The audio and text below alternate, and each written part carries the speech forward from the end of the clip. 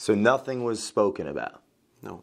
and nothing was uh, nothing occurred Nope. from her point of view that you've either of you that you're still together. Mm-hmm. Yeah. you have four children. Oh, we I have four met children, Connor. yeah, just celebrated 30 years. Okay. Yeah. So nothing's set now. Did did when when she came to you, was that reaffirming of what you already had thought when you went up to the 16.4 and turned the lights on? That is when I knew it was truly from God, because God had independently confirmed His calling in both of our hearts separately against both of our wills. So what's the next move?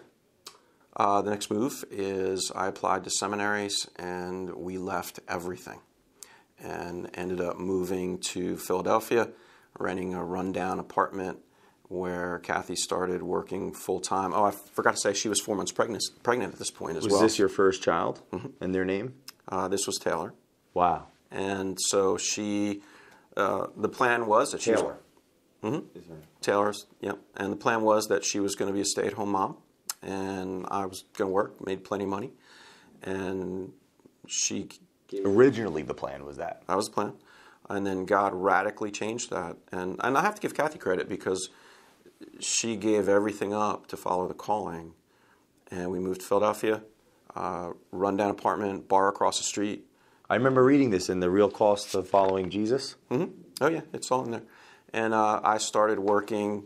Uh, I started school full time. I started working nights as a security guard, and Kathy started teaching in a Christian school all day long, four months pregnant.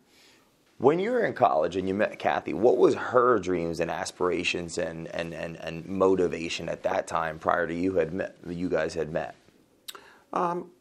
Well, I I would say that it like was, what was her degree going to be in? I guess it, well. I she's wanted to be a teacher, right? And so she's been a teacher for uh, probably almost almost thirty years now. So uh, even early on, um, she had started teaching. Now she's still a teacher. It, it wasn't so much about not wanting to be a teacher; it was more about not wanting to be a pastor's wife. wow. And uh, she was saved at a very young age, grew up in the church.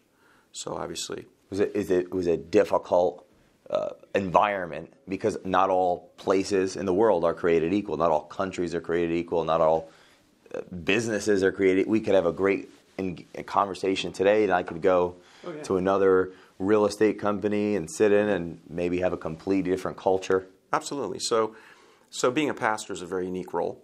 Um, you know, for a variety of reasons. Uh, it's a very challenging role for a variety of reasons, and uh, being a pastor's wife in general is just a uniquely challenging role.